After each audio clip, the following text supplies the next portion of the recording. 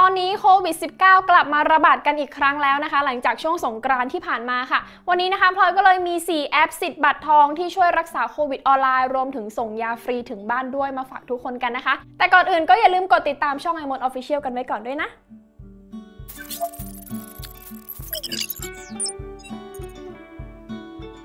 ต้องบอกก่อนว่าสถานการณ์โควิด -19 ในประเทศไทยนะคะ ถึงแม้ว่าจะมีสถานการณ์ที่ดีขึ้น ยอดจำนวนผู้ติดเชื้อลดลง แต่ว่าเชื้อโควิด -19 นี้เนี่ยก็ยังไม่ได้หายไปนะคะ ยิ่งช่วงสงกรานต์ที่ผ่านมานะคะ มีการรวมตัวกันของกลุ่มคนเยอะๆ จึงทำให้มีโอกาสที่เชื้อเหล่านี้เนี่ยจะกลับมาระบาดได้อีกครั้ง ซึ่งแน่นอนว่าข่าวที่เราได้เห็นกันมานะคะเขาก็บอกว่าเชื้อโควิด -19 เนี่ยกลับมาระบาดอีกครั้ง หลังจากที่ช่วงสงกรานต์ที่ผ่านมานะคะ ซึ่งใครที่ได้ไปเล่นน้ำเนี่ยก็ลองเช็คอาการตัวเองรวมถึงอาการของคนใกล้ตัวด้วยนะคะ และในตอนอนนี้เนี่ยเชื้อโควิด -19 สายพันธุ์ใหม่ก็ระบุขึ้นมาอีกแล้วนะคะ เขาใช้ชื่อว่าสายพันธุ์ XBB.1.16 นั่นเองค่ะ ซึ่งสายพันธุ์นี้นะคะ เขาจะมีอาการเคืองตาแล้วก็ตาแดงด้วย ดังนั้นนะคะ ใครที่ไปเล่นน้ำสงกรานกันมาแล้ว ก็แนะนำให้ตรวจเช็คอาการของตัวเองรวมถึงคนใกล้ตัวด้วยนะคะ ถ้าหากว่ามีอาการเหล่านี้เนี่ยก็อาจจะเป็นอาการของเชื้อโควิด สายพันธุ์ใหม่ก็ได้ค่ะ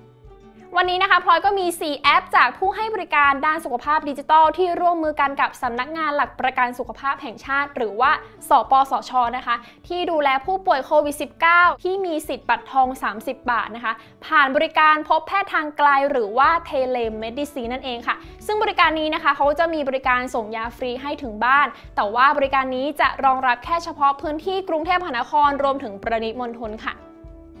สำหรับผู้ป่วยโควิด -19 ที่ตรวจ ATK แล้วผลเป็นบวกนะคะ จะต้องตรวจเช็คสิทธิ์บัตรทอง 30 บาทก่อนนะคะ จึงสามารถใช้บริการพบแพทย์ทางไกลหรือว่า telemedicine ได้ค่ะ การตรวจสอบสิทธิ์บัตรทองนะคะ ก็มี 4 วิธีด้วยกันค่ะ วิธีแรกนะคะให้เราแอดไลน์ไปที่ line id at nhso นะคะ แล้วก็เลือกที่เมนูตรวจสอบสิทธิ์ค่ะ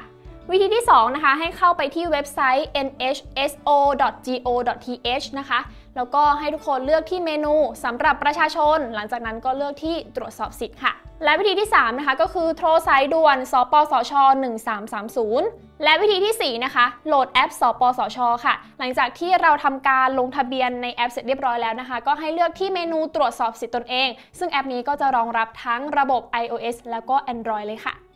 หลังจากที่เราตรวจสอบสิทธิ์บัตรทอง 30 บาทเรียบร้อยแล้วนะคะ แล้วเราสามารถใช้บริการนี้ได้เนี่ย ก็จะต้องมาเช็คอาการของตัวเองกันก่อนนะคะ เพราะว่าบริการพบแพทย์ทางไกลหรือว่า telemedicine เนี่ย จะให้บริการแค่เฉพาะผู้ป่วยโควิด -19 กลุ่มสีเขียวเท่านั้นค่ะ เดี๋ยวเราไปดูอาการของผู้ป่วยโควิด -19 กันก่อนเลยนะคะ ซึ่งเขาแบ่งเป็น 3 ระดับหรือว่า 3 สีด้วยกันค่ะ ระดับแรกนะคะจะเป็นสีเขียวค่ะ ซึ่งก็จะเป็นอาการของผู้ป่วยที่ไม่มีอาการหรือว่าอาการไม่รุนแรงนั่นเอง ซึ่งอาการส่วนใหญ่เนี่ยก็จะมีเจ็บคอ ไม่ได้กลิ่น ไม่รู้รส มีการไอ มีน้ำมูกนะคะ มีผื่น มีถ่ายเหลว แล้วก็ตาแดง ซึ่งอุณหภูมิในร่างกายเนี่ยจะอยู่ที่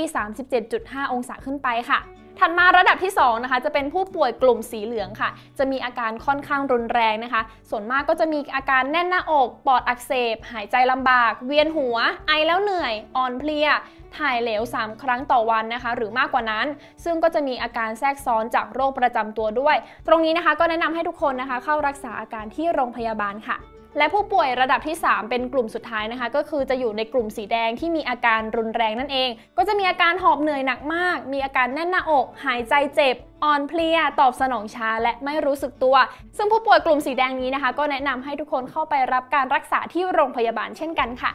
หลังจากที่เราเช็คอาการตามความรุนแรงเรียบร้อยแล้วนะคะสำหรับผู้ป่วยกลุ่มสีเขียวเนี่ยก็สามารถเข้าใช้บริการตาม 4 แอป ที่พลอยกำลังจะพูดถึงต่อไปนี้ได้เลยค่ะสำหรับแอปแรกนะคะจะเป็นแอปหมอดีนั่นเองแอปนี้นะคะจะให้บริการผู้ป่วยโควิด -19 เฉพาะกลุ่มสีเขียว แล้วก็ไม่รับกลุ่ม 608 ด้วยสำหรับผู้ป่วยกลุ่ม 608 เนี่ยจะเป็นผู้ป่วยที่มีอายุมากกว่า 60 ปี และเป็นผู้ป่วย 7 โรคเรื้อรังนะคะ ได้แก่โรคทางเดินหายใจเรื้อรัง โรคหัวใจและหลอดเลือด โรคไตวายเรื้อรัง โรคหลอดเลือดสมอง โรคอ้วน โรคมะเร็ง และโรคเบาหวานรวมถึงหญิงตั้งครรภ์ด้วยค่ะสำหรับวิธีการเข้ารับการรักษาที่แอปหมอดีนะคะ ให้ทุกคนเข้าไปกรอกแบบฟอร์ม เพื่อลงทะเบียนเข้าร่วมโครงการผู้ป่วยโควิดดูแลตัวเองที่บ้านได้เลยค่ะสำหรับแอปหมอดีนี้นะคะ สอบถามเพิ่มเติมได้ที่ Line add at หมอดีแอปตามภาพที่ขึ้นอยู่นี้ได้เลย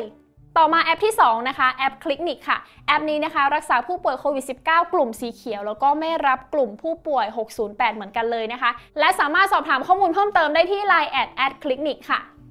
แอปที่ 3 นะคะ ชื่อว่าแอป Saluber MD ค่ะ แอปนี้นะคะ รักษาผู้ป่วยโควิด -19 กลุ่มสีเขียว แล้วก็ไม่รับกลุ่ม 608 เหมือนกันเลยนะคะ ผู้ป่วยนะคะสามารถลงทะเบียนเข้ารับการรักษาได้เลยนะคะ ที่เว็บไซต์ telemed.salubermdthai.com ค่ะ แล้วก็สามารถสอบถามข้อมูลเพิ่มเติมได้ที่ add Line at สุขสบายคลินิกนะคะ หรือว่าจะโทรติดต่อสุขสบายคลินิกเวชกรรม ตามเบอร์โทรที่ขึ้นอยู่นี้ได้เลยค่ะ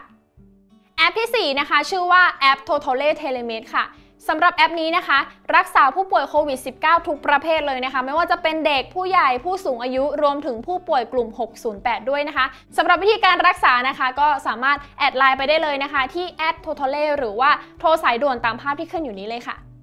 และทั้งหมดนี้นะคะก็เป็น 4 แอปสิทธิ์บัตรทอง 30 บาท ที่สามารถรักษาโควิดได้ค่ะ แต่ว่านอกเหนือจากนี้เนี่ยพลอยก็แนะนำให้ทุกคนนะคะ เปิด feature การแจ้งเตือนการสัมผัสเชื้อโควิด -19 ไว้ด้วยค่ะ ถ้าหากว่า 14 วันที่ผ่านมาเนี่ยมีผู้ที่ได้รับเชื้อนะคะ ระบบก็จะทำการแจ้งเตือนว่าเราเนี่ยอาจจะมีความเสี่ยงที่จะติดเชื้อ เพื่อเป็นการป้องกันแล้วก็เฝ้าระวังตัวเองนั่นเองค่ะ ซึ่งฟีเจอร์นี้นะคะ รองรับทั้ง iOS แล้วก็ Android เลยค่ะ แต่ว่าบางเครื่องนะคะ อาจจะแจ้งเตือนขึ้นมาว่าหน่วยงานสาธารณสุขของคุณได้ปิดใช้การแจ้งเตือนการสัมผัสเชื้อ ตรงนี้เนี่ยอาจจะเป็นแค่บางเครื่องเท่านั้นนะคะ ที่ไม่สามารถเปิดใช้ฟีเจอร์นี้ได้ ใครที่สามารถเปิดใช้งาน feature นี้ได้พลอยก็แนะนำให้เปิดไว้นะคะ เพื่อเป็นการแจ้งเตือนแล้วก็เฝ้าระวังตนเองนั่นเองค่ะสำหรับวิธีการเปิดแจ้งเตือนการติดเชื้อการสัมผัสโควิด -19 นะคะพี่นุ้งนิกก็ได้ทำคลิปไว้แล้วยังไงก็ไปชมกันได้เลยนะคะ